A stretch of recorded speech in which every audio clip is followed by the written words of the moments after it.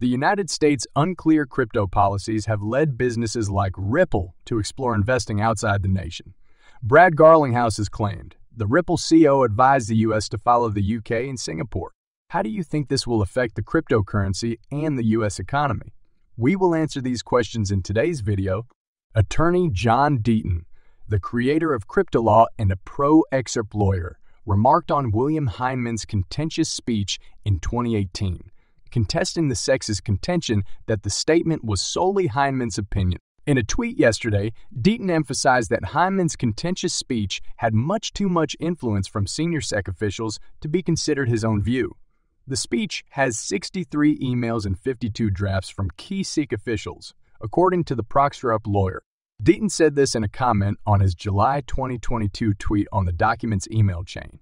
Only the Ethics Office and Ethics Chief Deng Serrano are not on the email chain with Hinman's documents, according to Deaton last year. Meanwhile, Deaton's newest tweet elicited criticism from members of the crypto community. Marc Fagel, a former SEC lawyer, also commented on the article. Fagel reminded Deaton of a Securities and Exchange Commission notion.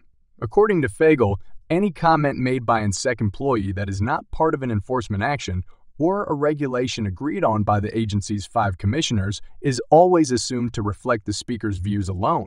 He inquired as to why people are still perplexed by the SEC's stance on the topic. Deaton responded to the criticism by emphasizing that people grasp the idea. However, he contended that the SEC's arguments are invariably transactional, prompting Judge Sarah Netburn to call them out. Previously, the U.S. District Judge condemned the Commission's attorneys of disobeying the law. Deaton's new comments emphasized the fallout from Hinman's 2018 Yahoo Finance All Markets Summit address. During his lecture, Hinman proclaimed Ethereum and Bitcoin to be non securities. The remark drew attention from the crypto community when Ripple demanded the materials that led to the speech's composition. The paper, known colloquially as Hinman's documents, details internal SEC debates around the speech. Remember that when Ripple mentioned the paper, the SEC stated that the speech represented Hinman's viewpoint, not the Commission's. Deaton has maintained his opposition, after Judge Sarah Netburn refused the SEC's application to seal the documents, the SEC revised its stance. It is worth noting that, as previously reported by the crypto basic judge Analisa Torres, just ordered the unsealing of Hinman's records in her latest judgment. Following the ruling, Ripple CEO Brad Garlinghouse said that the company's attorneys will guarantee that Hinman's documents were made public with no redactions. According to reports, the address will be published on June 13, 2020. 3. However, there's persistent speculation that Hinman's documents may never be seen since the SEC and Ripple may reach an agreement before the deadline. At the time of publication, it was unclear if the parties were considering the details of a prospective settlement. Brad Garlinghouse, the guy behind business blockchain solution startup Ripple, believes the SEC's U.S. Securities and Exchange Commission case will be resolved within the next several weeks. Garlinghouse's état on the resolution is shorter than the community consensus, which predicted that a decision may take months. Garlinghouse made the remarks during an interview with Mokaya Panich, CEO of Shkep Tanks. Shkep E Tanks is now presenting its fourth annual DeFi and Web3 virtual summit, which is being attended by industry heavyweights such as Circle Chief Jeremy Allaire, Arbitrum CEO Steven Goldfeder, Chainalysis EO Michael Gronager, and Curve co founder Michael Egorov. When questioned about the continuing dispute with the SEC, Brad Garlinghouse said that he anticipates a ruling within weeks rather than months.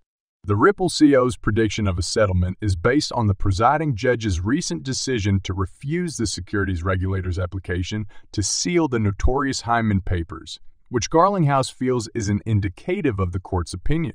The Hinman records are internal emails and speeches pertaining to William Hinman, the former director of corporation finance at the SEC, who said in 2018 that Ethereum is not a security. Given the precedent that these records may create in the current Ripple action, the SEC has made multiple efforts to seal them. Brad Garlinghouse also accused the SEC and the Biden administration of prioritizing politics above sound policy causing crypto entrepreneurs and innovation to flee the country. The Ripple CEO remarked that the regulatory environment in the United States is one of the reasons why the majority of his firm's customers are not from the United States. The FedNow quick payment service is set to launch soon, and on May 11, the Metal blockchain team announced that it would be integrated with FedNow.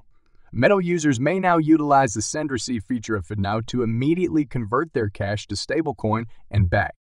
The partnership between FedNow and Metal blockchain exemplifies the growing convergence of blockchain technology and conventional banking. Metallicus has created a cryptocurrency network called Metal Blockchain, which is based on a fork of the original Avalanche source code.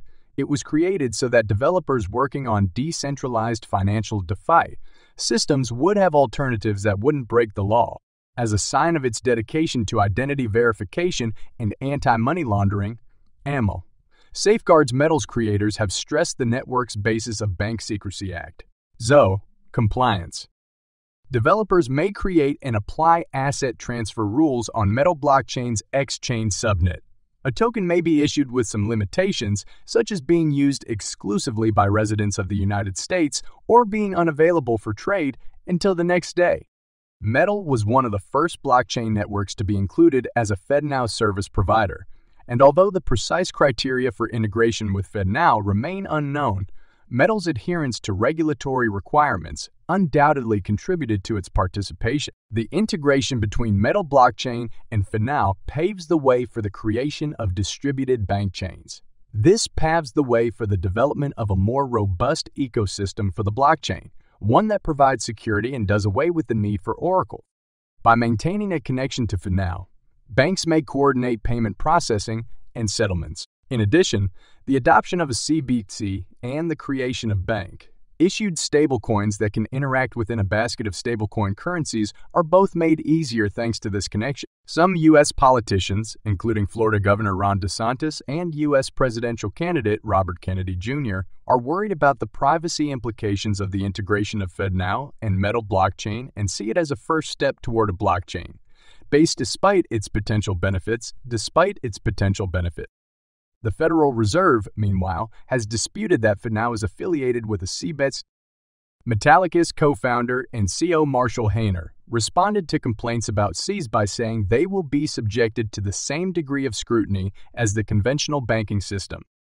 The integration of Metal blockchain with FedNow, he said, would improve the current financial infrastructure and promote safe and efficient payment processing between banks, therefore putting to rest the issues surrounding CBDCs.